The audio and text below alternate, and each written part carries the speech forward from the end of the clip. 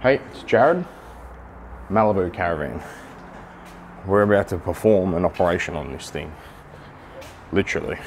So we come into the van, it's got the club lounge at the back with the battery system top and then bedding at the rear. At the moment, the batteries are under here in chassis mounted boxes. There is an inverter that they have had fitted in the front uh, and they've had the Sat King installed. So it's got a extra whole heap of HDMI and coaxial stuff going on. Little um, tracker, just a couple other bits and pieces. A really good factory DC charger install that is just loose now with the REDARC inverter in the front, it's a 3000 watt inverter. It only got installed a couple months ago, but I want you to check this out because this is this is why we use what we use and why we do the systems that we do because it negates any of the potential issues that you have with a setup like this. So, REDARC inverter, wired up in the tunnel boot. You've got a remote for it, which is that cable there that's been filled in with a junction box cover, which is odd, but whatever. 240 coming out of this, okay, so fair enough. That inverter has no AC transfer switch built in.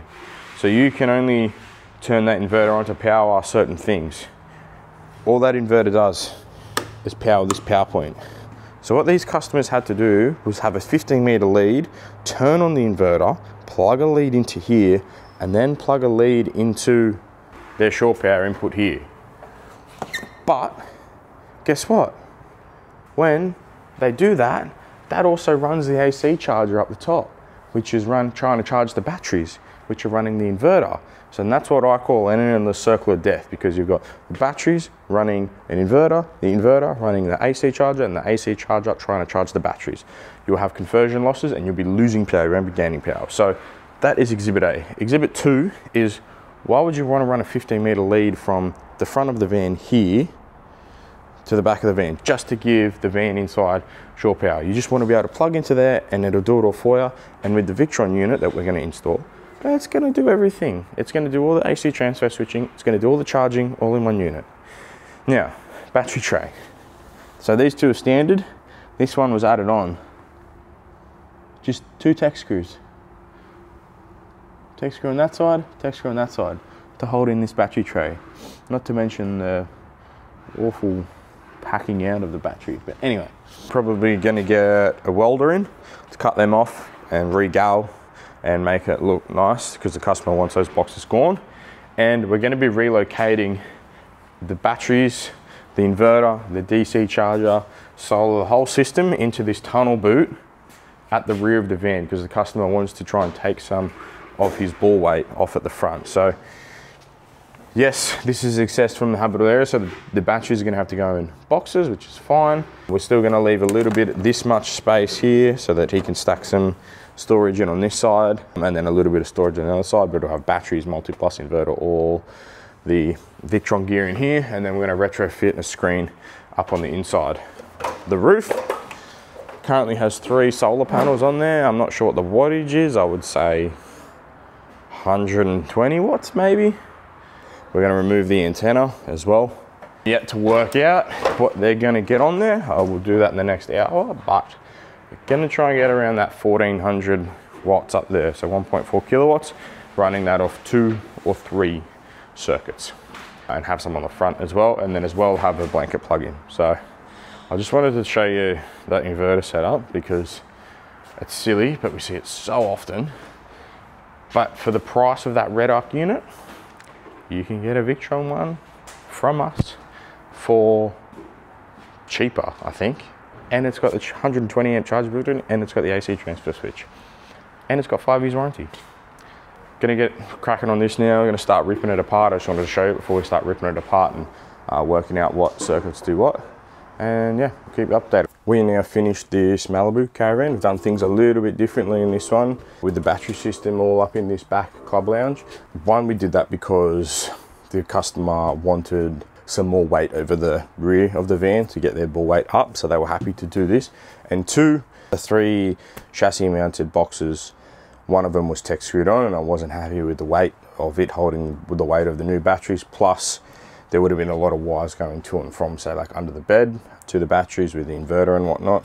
So that's why we've just moved everything to the rear. We'll show you how we've done it. So massive solar on the roof. We have seven 225 watt panels, which I'll show you. I'll jump up on the roof in a sec. We're not getting much at the moment because it's in the shade, but everything is in series. So on this Solar 70, we'll be getting up to 100 volts, and then on the two ones at the front, we'll be getting up to around 40 volts. Uh, and then there's a third one, which is for the blanket plug-in. We have three 300 amp hour lithiums, so 900 amp hours of power in a sealed battery box. We've got our vent down the side here, Perspex lid as per the customer's request. 70 amp solar for the 5225 watts on the roof, 50 amp DC.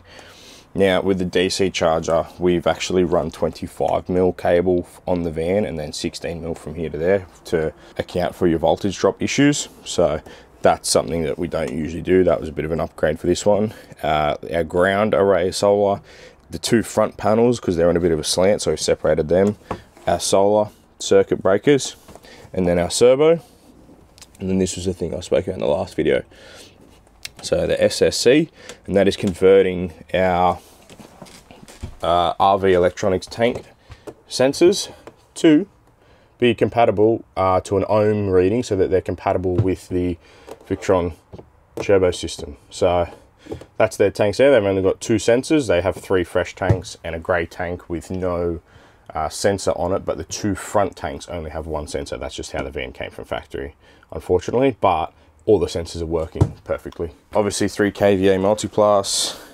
You've got all your other bits and pieces of all your fusing in your fuse block here, manual reset circuit breaker for the inverter and then this MIDI fuse here is protecting van side of the DC circuit. So the car has its own fuse, caravan input side has its own fuse and then caravan output side also has its own fuse.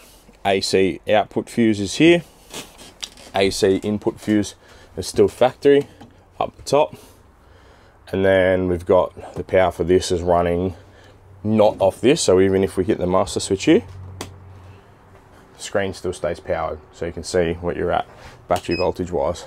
The BMPRO battery plus hub now is basically just like a, a big fuse panel. It's doing no charging at all. So no DC charging, no solar, no AC charging.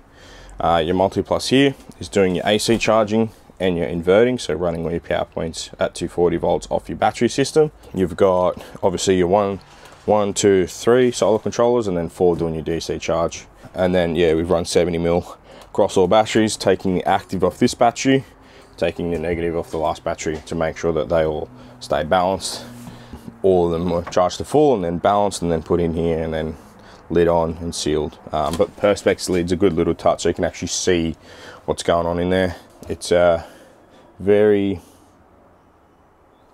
good bit of kit and with the amount of solar that they have on the roof that I'm about to show you uh, they're not going to have any power problems. All right, so the solar on the roof.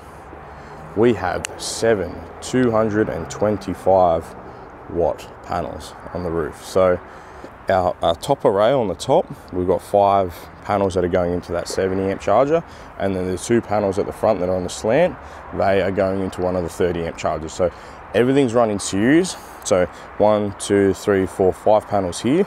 They'll be running at roughly 100 volts.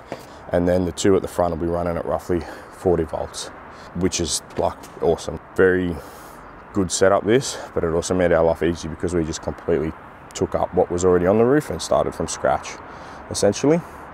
Now, so you, let's say total, we've got 225 times seven. So they've got 1575 watts total just on this center roof going through the 70 amp charger, you've got like 1.1 kilowatts of solar, which is awesome. So they can expect to see 70 amps of charge through the 70 amp charger and then probably close to roughly like just over 20 amps through the charger that's looking after the front two.